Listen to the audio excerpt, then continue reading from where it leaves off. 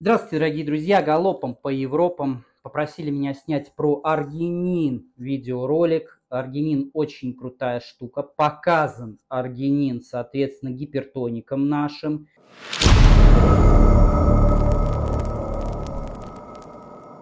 Показан аргинин при гипоксии кишечника, при лечении сибров. И если вы боитесь, э, что аргинин вызовет герпес, а ныне эта информация заполонила интернет, ради бога, есть формы аргинина, которые не вызывают герпес, соответственно.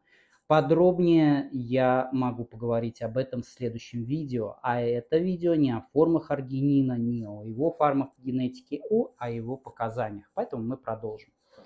Аргинин, соответственно, у нас очень неплохо тонизирует сосуды. Вообще вы можете, если вы занимаетесь, чувствовать э, мегапамп, соответственно, который ну, в мышцах, да, у вас такое наполнение вызывает. Э, и это именно делает аргинин. Но если вы бахнули перед этим аргинина, соответственно, проще его почувствовать. И когда вы соответственно, достигаете пика пампа, можно увидеть э, такую синенькую сосудистую сеточку на вашей бицушке, там попе, еще где-то. Вот если она проступила именно во время тренировок, не путать это с поврежденными сосудами, это никак не вяжется, нет, это именно просто такая вот легенькая синева. Это, соответственно, активно работает, значит, аргинин, может увеличить венозность считается, что может даже увеличить азотистый баланс, да, то есть положительно, более положительно его сделать. Но здесь бы я досыпал Q10 для наших качков, качальщиков, соответственно, такой, такой лайфхак.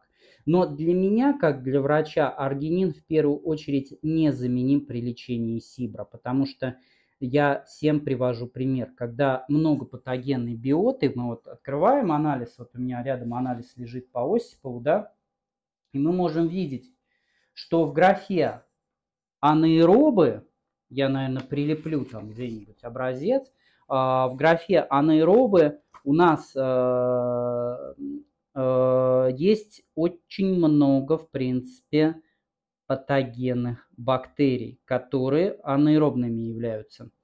А, значит, и это означает то, что им без кислорода хорошо.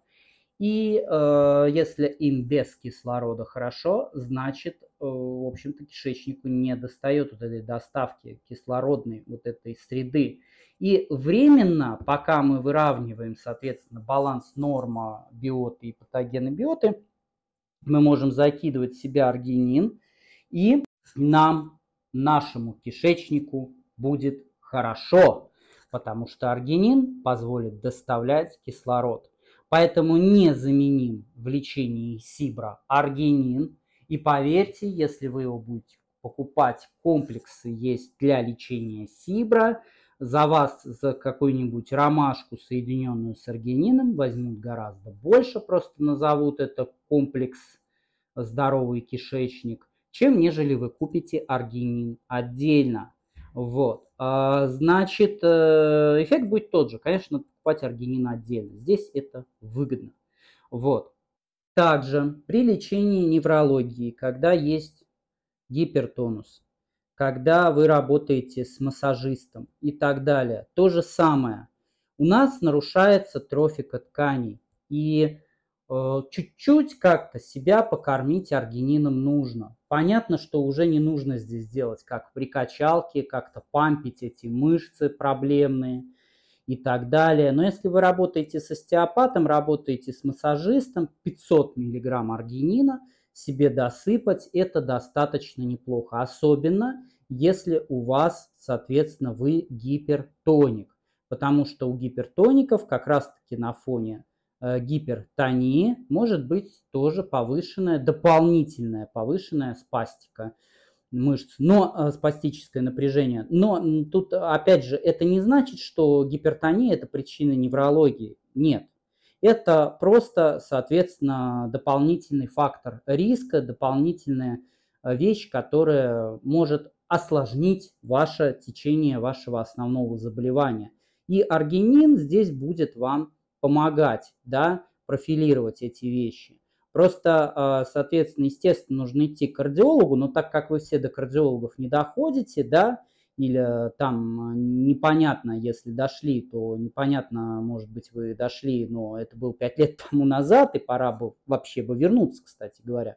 И вот пока вы не записались, пока вы ждете, не ждете, пока вас там по кардиологии исследуют, э, это же не сразу кардиолог, вы пришли, и он так скажем, рентгеновским зрением Супермена вас, значит, просветил и все увидел, все ваши заболевания. Он на эхо вас отправит, на ЭКГ отправит. И вот пока все эти мероприятия у вас есть, вы можете на Q10 и на аргинине и на каких-то еще добавках, соответственно, держаться и более-менее себя нормально чувствовать.